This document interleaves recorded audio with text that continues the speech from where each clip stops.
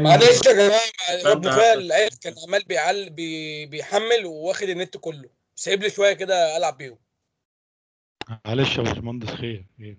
تمام؟ فأنا بقول لك إيه يا ربيع؟ إن أنت لأن أنت في بص ابينها لك أكتر من الرسمة دي. أنت عندك جزء ده اسمه sea side. اطلع بره. اطلع بره. لا لا. اطلع. لا ما ت restart ش اطلع بس بره. الجزء ده اسمه ال sea side وده اسمه اللي فمفروض إن أنا في الجزء الطبيعي اللي هو بنتكلم على ال trunk فأنا عندي هنا تقريبا متأمن فعشان كده أنا كبرت دول وصغرت دول عشان أنا عارف إن أنا ال lee side تقريبا مش معرض لأي حاجة. تمام؟ تمام. طيب تعال نشوف لو الاتنين فيهم أمواج. اللي هي الحتة بتاعت الرأس يعني؟ آه اللي هي منطقة الرأس. بص الحاجز بيعمل إزاي؟ إيه ده يا ربيع بقى؟ استنى لسه بيحمل بيظهر أهو. آه شوف. يمين بقى زي شمال. هو عمل كده ليه؟ شال الحته بتاعت الانكسار بقى بتاعت الأمواج دي. الحتة بتاعه الانكسار دي. كده كده هو بيقول لك إن في جزء هيلف. أنا على فكرة هي مش كبيرة قوي بس هتحصل. فأنت لازم عشان كده تأمنها. فأمنها إزاي؟ إن أنا أخلي يمين زي الشمال. تمام. لحد ما أنا واقف هنا يا جماعة في حد عنده أي مشكلة قبل ما نبدأ في الديزاين؟ أنا غطيت كده الجزء النظري كله محاضره أكتر من محاضرة. في حد عنده مشاكل قبل ما أبدأ في ال design؟ تمام يا هندسه إيه ال design يا باشمهندس؟ أنا عايز اعرف ال design ويا ريت يا باشمهندس تقول لنا ال design بصورة بسيطة جدا. إيه ال design؟ ركز معاه. والموضوع هيبقى سهل جدا. ال design انك تعرف حاجتين منسوب كل طبقة من الطبقات دي ووزنها تاني يبقى ال design انك تعرف لي حاجتين. اهي. عندي core عندي فلتر عندي armour إيه المطلوب من حضرتك؟ المطلوب من حضرتك إنك تقول لي ببساطة جدا. إيه هو منسوب ال crest؟ وإيه هو منسوب الطبقة العلويه للفلتر؟ وإيه هو المنسوب العلوي لل core؟ plus. يعني زائد أوزان الحجارة اللي هحطها في ال armour وأوزان الحجارة اللي هحطها في الفلتر وأوزان الحجارة اللي هحطها في ال core. ده بيتم من خلال حاجتين. إيه هما خطوة اسمها hydraulic design وخطوة اسمها structure design ال hydraulic design اكتب كده. وأنا اللي بطلع الأوزان إزاي مش في الحجارة دي بتبقى أوزانها standard أيوه يا محمد أنت اللي بتتحكم فيها لأن أنت بتطلب من المصنع إن هو يعمل لك أوزان كذا. آه تمام تمام. عشان كده أنا مسميها صناعي. انت فاهم قصدي؟ أيوه تمام يا باشمهندس. يبقى hydraulic design عبارة عن خطوتين. الهدف الرئيسي منه اكتب الهدف الرئيسي من ال hydraulic design.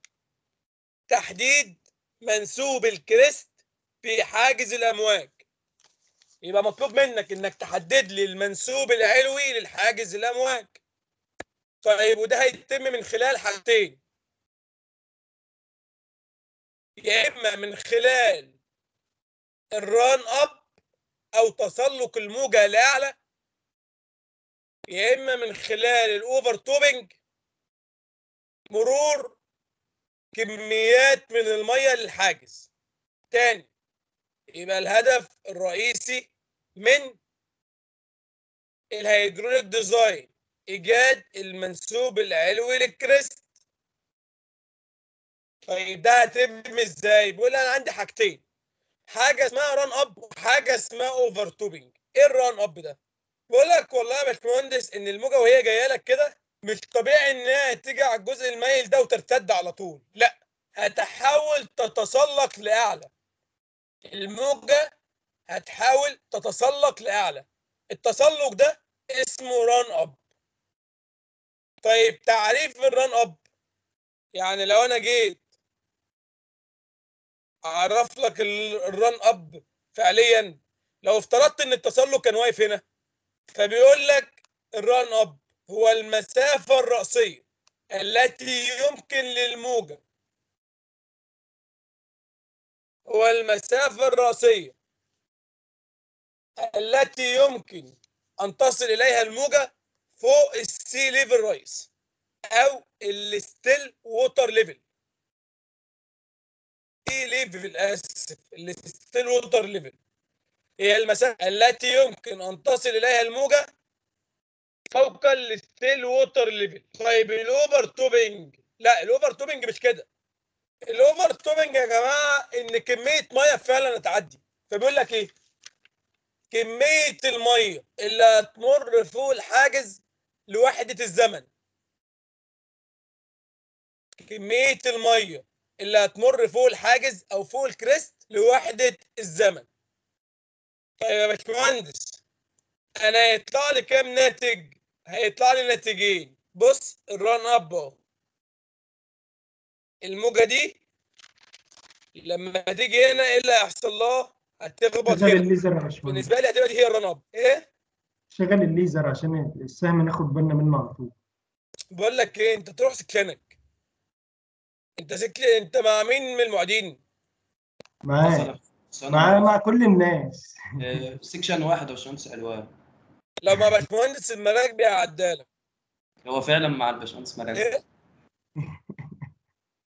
لا خلاص بقى باشمهندس المراكبي نعديله أدي ال run up بقى يا علوان وادي كمية ال overtopping يا علوان تمام. تمام؟ طيب أنت مطلوب منك إيه؟ المطلوب منك إنك تحسب لي قيمة ال run up وتحسب لي قيمة ال overtopping. سؤال. لو أنا قلت لك عندي tidal range يعني إيه tidal range؟ يعني أنت عندك منسوب المد والجزر. خد بالك منسوب المد والجزر ممكن يعلي المية بأربعة ونص متر لمدة 12 ساعة. يبقى لما أجي أتعامل مع ال still water level هتعامل مع المنسوب الأساسي اللي هو الصفر ولا هتعامل مع المنسوب اللي أعلى منه؟ تاني. المفروض أنا أنا عندي بصمم على water level منسوب الصفر. عندي ال still water level منسوب الصفر. حصل لي tidal range في حالة عشان دي تاخدها في اعتبارك وتكتبها ملحوظة. في حالة حدوث tidal range أو في حالة حدوث مد وجزر يؤخذ ال d من عمق القاع لحد أعلى منسوب للمية اللي هو ال high water level اللي هو منسوب ال tidal range. إلا في حالة واحدة. إلا في حالة واحدة. حالة ال toe. يتم التصميم على ال still water level الرئيسي. تاني تاني يبقى لو انت بتتكلم حصل tidal range يعني حصل مد وجزر لما أجي اتعامل مع ال depth هتعامل مع ال depth مقاس من القاع لحد أعلى منسوب لل tidal range طيب لو بتعامل مع ال toe هتعامل مع منسوب القاع لحد ال still water level طيب الحسابات بقول لك ببساطة جدا عشان تحسب ال hydraulic design فأنت محتاج تحسب حاجة اسمها Iribarren numbers إيه Iribarren numbers ده؟ Iribarren numbers ده؟ ثانية واحدة. اكتبه لأنه هو مش مكتوب. اكتب ال Iribarren numbers أو ال I R O بتساوي tan phi على جذر اتش على ال نوت الار الاي آر أو بتساوي. افتحوا جدول يعني عشان برضو اللي بي اللي بيراجع معايا من كتاب المنحنيات. صفحة كام يا ريس؟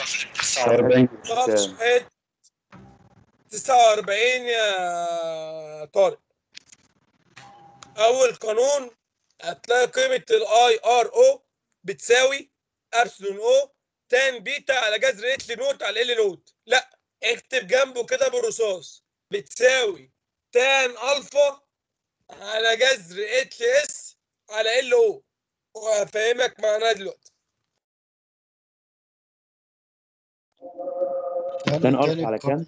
ريس معلش tan alpha على جذر H S toe على L O M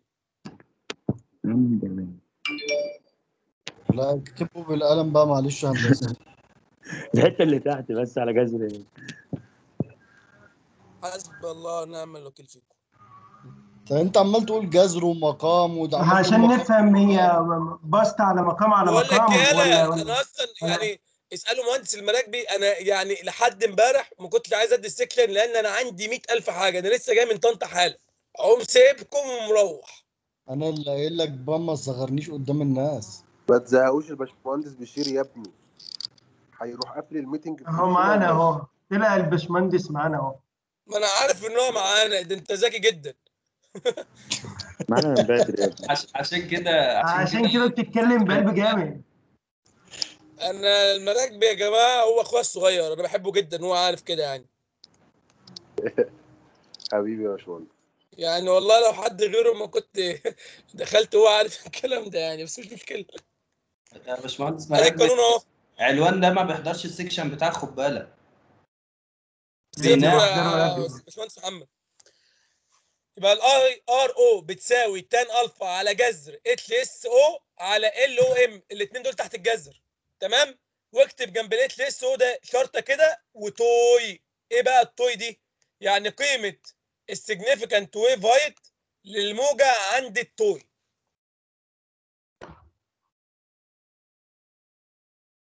يعني حتى ممكن تشيل ال dot دي عشان ما تلخبطش نفسك اللي هي دي. هتلاقي الدكتورة شالتها.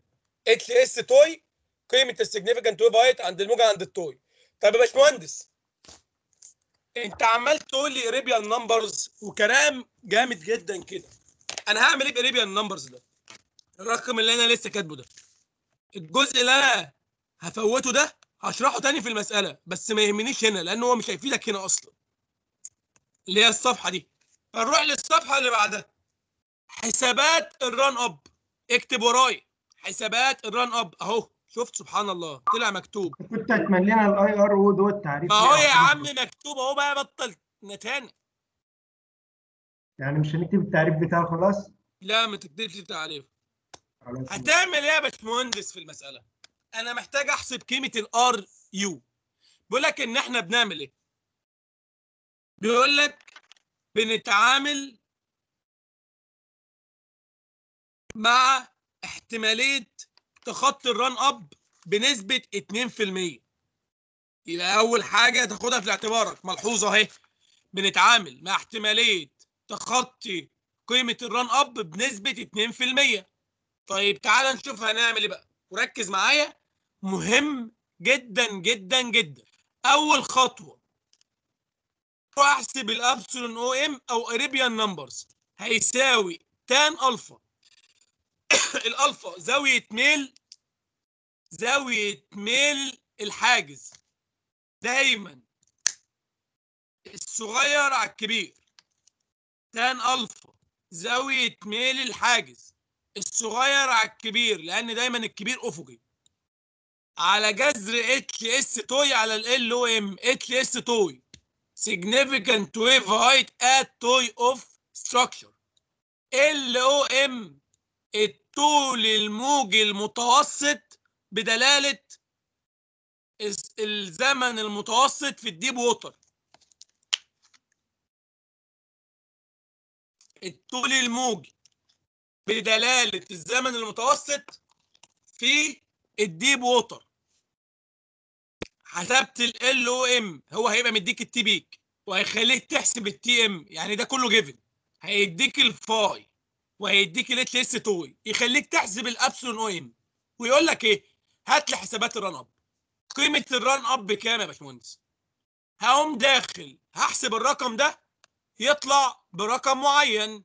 خمسة ستة عشرة تسعين يطلع زي ما يطلع. بس هو مش هيعدي السبعة ونص عموما يعني. وأقوم داخل هنا باشمهندسين. الران أب بالنسبة في المية خد بالك النسبة في المية دي معناها احتمالية التخطي. يعني هو بيقول لك أنا هعوض عن الإيه باحتمالية تخطي 2% اي في المية أهي. على ال H S بتساوي A في ال epsilon O M الكلام ده لو epsilon O M أكبر من واحد وأقل من واحد ونص. بمعنى أنت حسبت ده طلع معاك واحد وربع.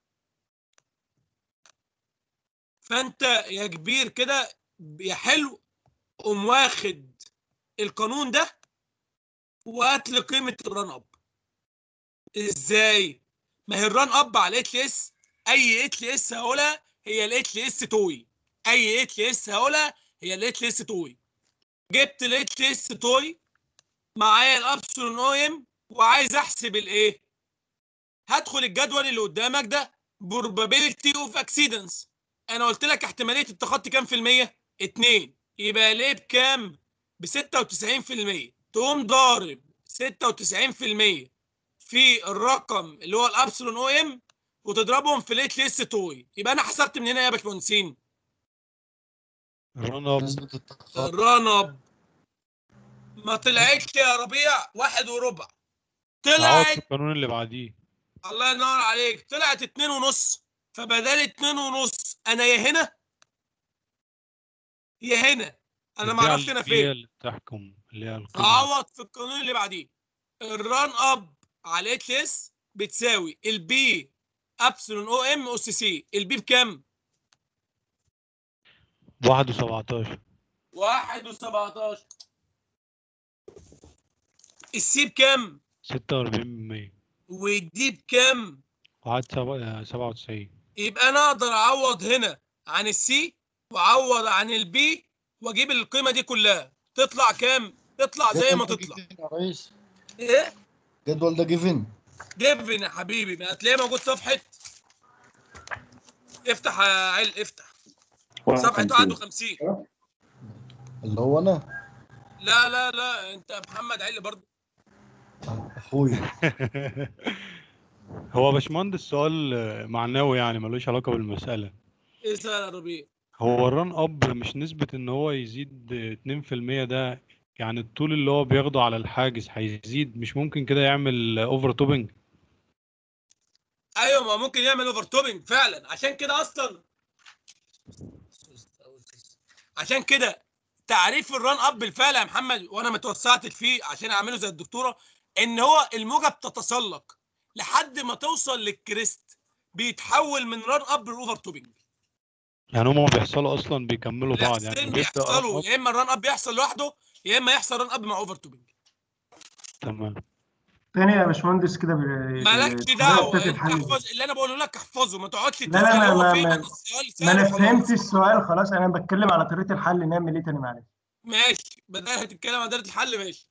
أنا حسبت يا علوان ال epsilon o m جميل. طلع طلع ما بين الرقمين دول؟ تمام. أقوم داخل احتمالية 2% وأجيب قيمة ال A وأقوم رايح من هنا حاسب قيمة ال run up خلصت المسألة. جميل. طيب ما طلعتش ال epsilon m ما بينهم. جميل. أخش على القانون يا التاني يا التالت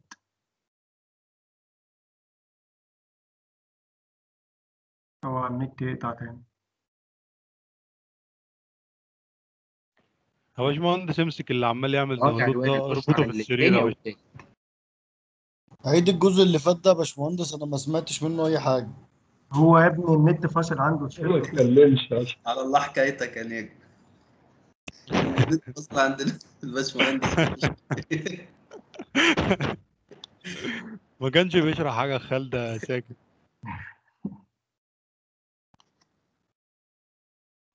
في الطبيعي إن ال section كان هياخد ثلاث ساعات دلوقتي ده ال section يعني فعلا يا عم أبو جبل بس ناخد ال section بس. يا. ريس يا ريس هو أخره معانا الساعة 9 وبعد كده ليه أشواط إضافية مع نفسه بقى؟ إشمعنى تسعة ربع أنت عارف أخويا عشان نهائي ماتش يا ابني. ماتش مين؟ السيتي وتشيلسي أخويا.